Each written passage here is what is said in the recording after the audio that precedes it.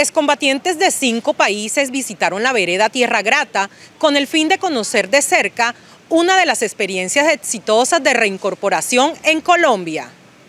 Hoy aquí en Tierra Grata se está efectuando el primer encuentro internacional de intercambio de experiencias entre países y movimientos que han firmado procesos de paz en el mundo.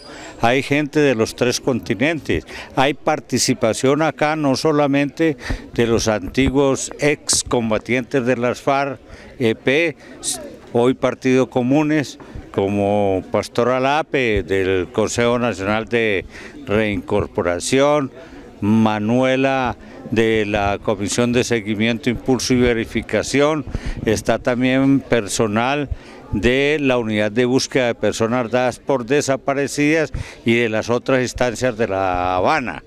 Pero a su lado está también el gobierno, la doctora Gloria, que va a estar al frente de la implementación. Eh, igualmente está el responsable, digamos, de la ARN, Agencia Nacional de Tierras, está las Naciones Unidas, están delegaciones de las Naciones Unidas, de la Embajada de Noruega, de la Embajada del Reino Unido, de el PNUD, compañeros de toda la región han venido de La Guajira y del departamento del Cesar. Como eh, garante del acuerdo de paz, eh, estas eh, conferencias son muy importantes. Funciona como retroalimentar el proceso de paz acá. creo que como tantas personas de otros países eh, ellos eh, pueden mostrar experiencias y lecciones que, que realmente pueden eh, alimentar el proceso de, de, paz total acá en Colombia. Hemos mm, concluido la actividad en Tierra Grata.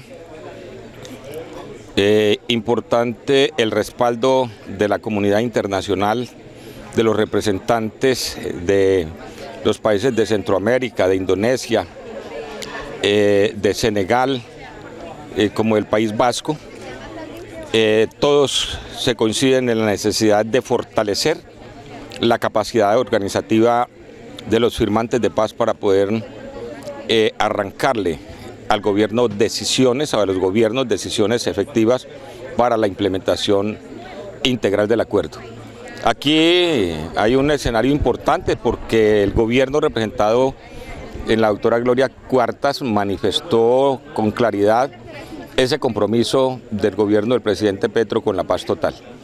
Por lo tanto, estamos concluyendo con una jornada muy positiva como primer escenario del encuentro internacional de reincorporación.